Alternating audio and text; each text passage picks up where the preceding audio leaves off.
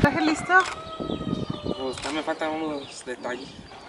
Álvaro y Rafael Muñoz Zúñiga regresaron de Estados Unidos a su tierra de Duarte, en Guanajuato, para casarse. El primero con una paisana que conoció en California y su hermano menor para cumplirle a su prometida de la misma comunidad de Duarte, de donde los cuatro son originarios. ¿Eh? ¿Ya tienes el traje listo? Pues me faltan unos detalles. Teresa Zúñiga, su madre, está preparada con 14 cerdos para las carnitas, varios canastos con chiles y especias para el mole, y ha hecho un pedido de 200 kilos de tortillas para agasajar a 4.000 personas que dijo fueron invitadas a la boda conjunta de ambas parejas. Ya tenemos los chiles para el mole, ya estamos preparando ya los puercos, ya pues ya.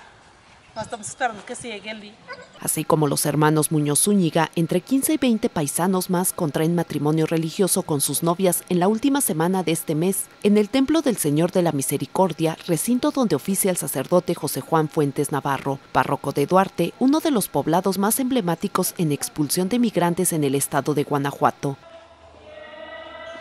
Es un estilo de vida común en Guanajuato, Michoacán o Hidalgo, que repite un patrón en donde ellas asumen un rol establecido. Nos fijamos a la suegra cómo hace de comer, pues para enseñarnos a hacer, pues cómo se cuecen los frijoles, cómo hacer la sopa, o la comida que tiene. La misma suegra.